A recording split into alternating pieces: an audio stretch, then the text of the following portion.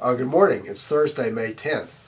Uh, we have a lot of our earnings reports from major seafood companies today, and I wanted to use that as an opportunity to pull together some observations about uh, seafood industry consolidation and growth.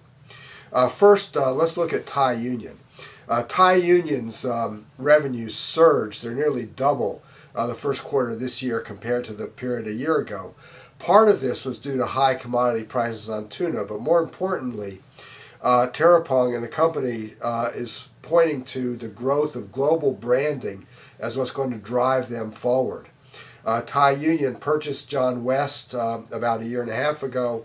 Of course, they represent uh, Chicken of the Sea, but they have a new company logo and a new focus on branding. They're going to try to pull together some of their uh, multiple disparate brands, uh, and they see that as a key driver for their global growth, and they intend to target uh, sales of about $5 billion uh, by 2015. Uh, quite a hefty number. If we look at High Liner, High Liners follow this branding growth strategy aggressively.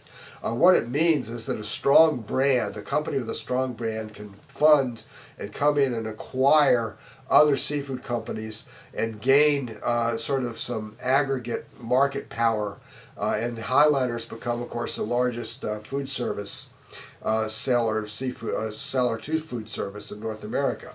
Uh, High Liners earnings this quarter with the acquisition of Icelandic, uh, their sales were up about 62 percent. Uh, and also High Liner again is focused on a brand strategy.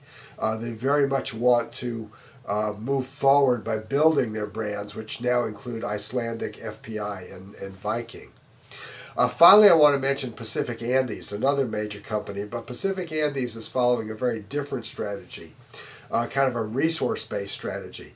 Uh, Pacific Andes um, earnings uh, and, and, revenues also grew substantially in this report, uh, driven partly by uh, expansion in Africa. Also, they've benefited from the high price of fish meal.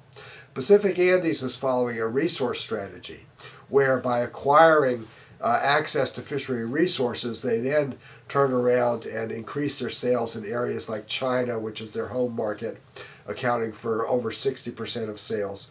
But Africa has become their next big region, and they've taken their fishing power on South American hakes and, and southern blue whiting and things like that, and started exporting those types of products uh, to Africa, which accounted for 13% of their revenues and 28% of the revenue growth, something like that.